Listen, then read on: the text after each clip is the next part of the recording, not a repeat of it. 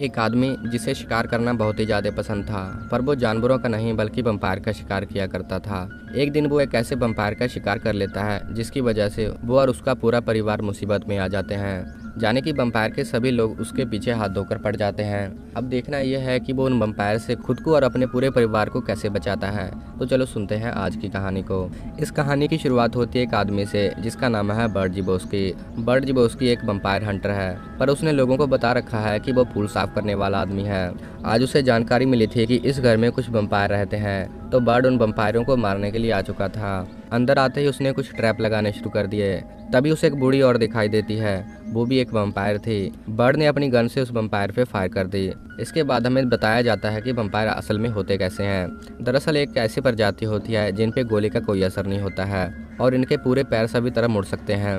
अगर ये वम्पायर धूप में जाएँ तो ये जलना शुरू हो जाते हैं। इन्हें जितनी मर्ज़ी कोशिश कर लो पर मारा नहीं जा सकता है। अगर बम्पायर को मारना चाहते हो तो या तो फिर इनके दिल पे गोली मारो, या फिर इनके धड़ को गर्दन से अलग कर दो, तभी हम बम्पायर को मार सकते हैं। बर्ड भी ऐसा ही करता है। वो कुछ समय तक फाइट करने के बाद उस बम्पायर के गर्दन को धड़ से अलग कर देता है। वो बम्पायर वहाँ पे ही मर चुकी थी।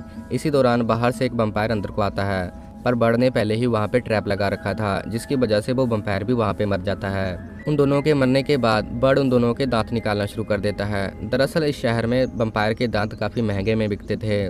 बर्ड ने भी इस काम को अपनी रोजी रोटी का ज़रिया बना रखा था। दूसरी ओर हमें ऑर्डरी नाम की एक औरत को दिखाया जाता है, जो कि एक बम्पायर है। वो सबसे ओल्ड बम्पायर है। वो सभी बम्पायर के लिए घर बना के देती है। उसका मेन काम इस शहर में बिल्डिंग बनाना ही है। पर उसने सभी वम्पायर को कह रखा है कि सभी वम्पायर उसके अंडर में रह के काम करेंगे। कोई भी वम्पायर उसके विरुद्ध नहीं जाएगा। अगर कोई भी ऐसा करता है तो वो अपनी मौत का खुद जिम्मेवार होगा। आज भी कुछ ऐसा ही हुआ था। एक वम्पायर ने उसके खिलाफ जाने की कोशिश की थी। तो एडरी ने उस वम्पायर को ज़िंदा ही कंक्रीट के नीचे दबाकर मार दिया। इस तरह बर्ड वहाँ से निकल के अपने घर आ जाता है। घर पे नहा धोने के बाद अब वो अपनी बेटी को मिलने के लिए निकल चुका था, जिसका नाम था पेज। पेज से मिलने के बाद वो अपनी पत्नी के पास जाता है। पत्नी से मिलने के बाद हमें उसके हालत के बारे में पता चलता है। दरअसल बर्ड की हालत काफ़ी ज़्यादा ख़राब है। वो चाहे जितनी मर्ज़ी भी हंटिंग क्यों ना कर ले, पर वो अपने घर का गुजारा सही से नहीं चला पा रहा है। आज उसकी हालत इतनी ज़्यादा ख़राब है कि वो अपनी बेटी की फ़ीस भी नहीं भर पा रहा है। जैकलिन ने उसे कहा कि वो अपना घर बेच रही है। घर बेचने के बाद वो अपनी बेटी को लेकर अपने मॉम के पास चली जाएगी। बर्ड ने जब ये बात सुनी तो उसे काफ़ी ज़ोर का झटका लगा। उसने कहा कि उसे कुछ दिन दे, वो इन दिनों में सब कुछ ठीक कर देगा और पेज की फ़ीस भी भर देगा। अब बर्ड उन दांत को लेकर बेचने के लिए एक दुकान के पास आ जाता है। उस दुकानदार का नाम था ट्रॉय। ट्रॉय उस दांत को देखता है और उसे पैसे देने लगता है। पर इतने दांत बेचने के बाद भी उसे कुछ अच्छे पैसे नहीं मिल रहे थे। तो बर्ड ने हार कर अपना सब कुछ वहाँ पर ही बेच दिया। इसके बाद वो बाहर आ जाता है। बाहर आकर अपने एक दोस्तों को फ़ोन करता है। दूसरी ओर रात का समय हो चुका था तो ऑर्डरी अपने घर पे जाती है। वो देखती है कि उसकी बेटी का कत्ल हो चुका है। अब वो जानना चाहती थी कि किसने उसकी बेटी को कत्ल किया। इसके बाद ये सीन यहाँ पर कट हो जाता है। अगली सुबह जाकर बर्ड बेग जॉन से मिलता है, जो कि एक वम्पायर हंटर है। उसने उसके पास जाकर अपने घर की हालत बताई और कहा कि मुझे फिर से जूनियन में शामिल कर लिया जाए। इसके बाद हमें बताया जाता है कि बर्ड भी पहले इस यूनियन में काम किया करता था पर जब वो वम्पायर को मारा करता था और उनके दांत निकाला करता था उसी दौरान वो कुछ ना कुछ गलतियाँ कर बैठता था। जानी कि उसने कुछ रोल तोड़े थे जिसकी वजह से उसे जूनियन से बाहर निकाल दिया गया था। उसने बिग जॉन से बात की और कहा कि बॉस से किसी तरह बात करके उसे फिर से जूनियन में शामिल कर लिया जाए। अब वो दोनों अंदर आ जाते हैं। अंदर आने के बाद बॉस से बात करने लगते हैं। बॉस पहले उसकी गलतियाँ गिनाता है और, कहता है कि उसे जूनियन में शामिल नहीं किया जाएगा। पर बिग जॉन उसे थोड़ा सा समझाता है, जिसके बाद बॉस मान जाता है। इसके बाद बॉस उसे एक आदमी से मिलवाता है और कहता है कि इतने बाद तुम जूनियन में आए हो, तुम्हारे साथ एक आदमी होगा।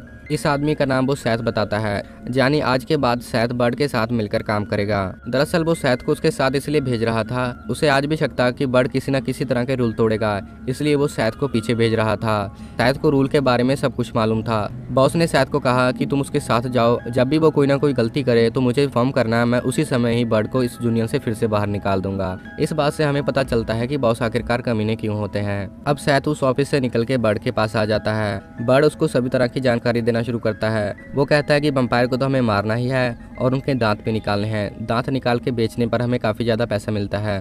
पर खुद को सेफ़ भी रखना होता है। वो उसको सिखाता है कि हम खुद को वम्पायर से कैसे बचा सकते हैं। अब दोनों मिलकर वम्पायर को मारने के लिए निकल पड़ते हैं। दोनों अब एक पुराने से शेड के पास आ चुके थे। शायद एक तरह का डरपोक आदमी था तो वो वहाँ पर ही बैठ गया। बर्ड उन वम्पायर को मारने के लिए अंदर जाता है। अंदर जाके देखता है तो वो कुछ वम्पायर थे। तो बर्ड ने अपनी गोली निकाली और उन सभी को मारना शुरू कर दिया। सभी को मारने के बाद उनके दांत भी निकाल लेता है। दूसरी ओर ऑर्डरी ट्रॉय के पास आ चुकी थी। उसे मालूम हो चुका था कि उसकी बेटी के दांत यहाँ पर ही बिके हैं। वो उस पर चाकू से बार करती है और पूछती है कि उसकी बेटी को किसने खत्म किया।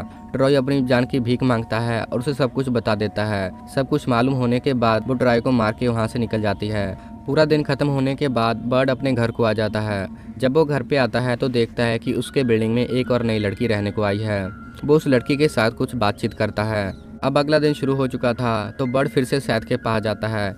इसी दौरान उसे मालूम हो जाता है कि बॉस ने सैद को इसके साथ इसलिए भेजा था ताकि वो उसकी गलतियों को नोट कर सके। बर्ड हार कर उसे अपनी सारी बातें बता देता है और कहता है कि प्लीज़ उसकी गलतियों को बॉस तक ना पहुँचाए, क्योंकि उसको अपनी बेटी की फ़ीस भरनी है।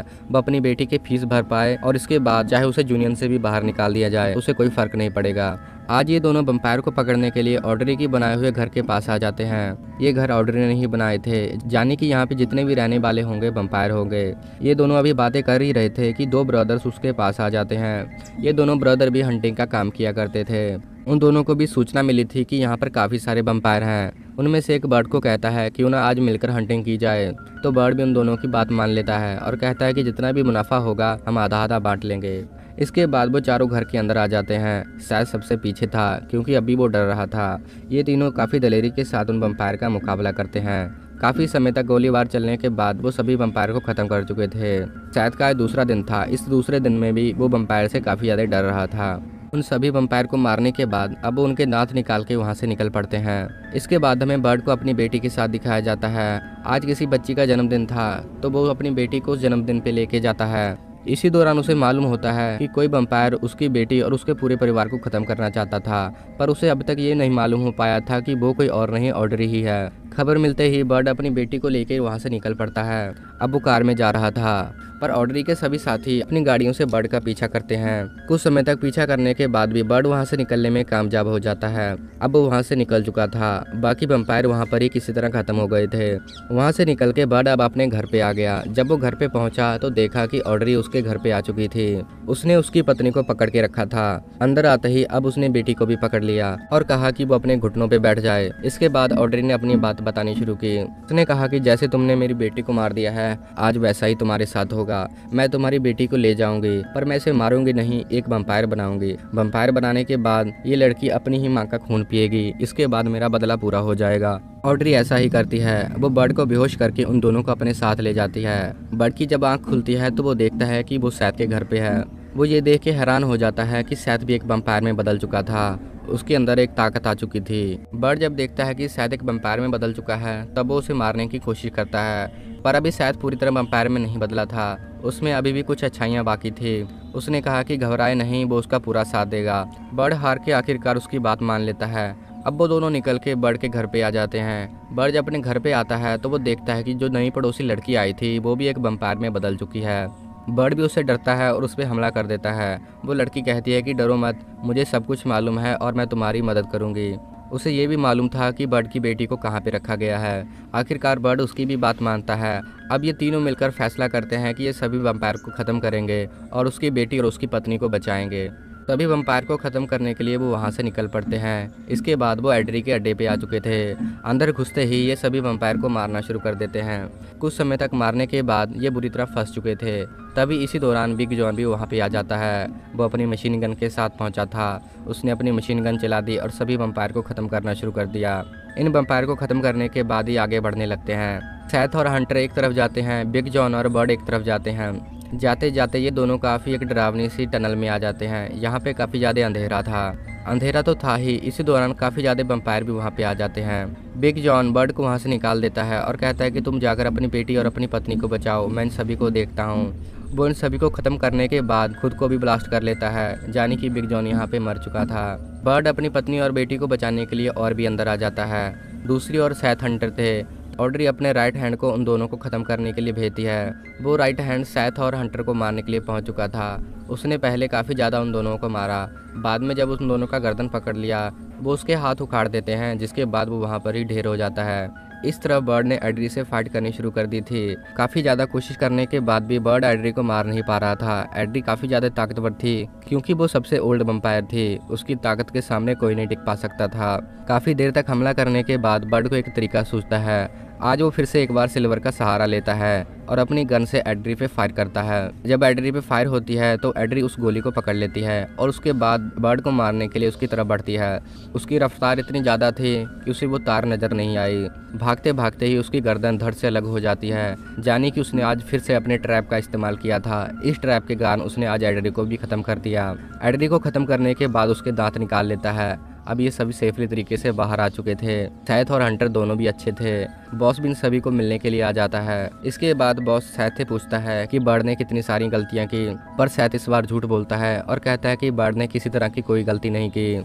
बॉस जान चुका था कि सैथ झूठ बोल रहा है, पर वो चाहकर भी कुछ नहीं कर सकता था। बर्ड फैसला करता है कि आज के बाद वो इस जूनियन में सैथ को भी अपने साथ रखेगा जाने कि अब से वो दोनों मिलकर हंटिंग किया करेंगे। तो इसी दौरान ये कहानी यहाँ पर ही खत्म हो जाती है।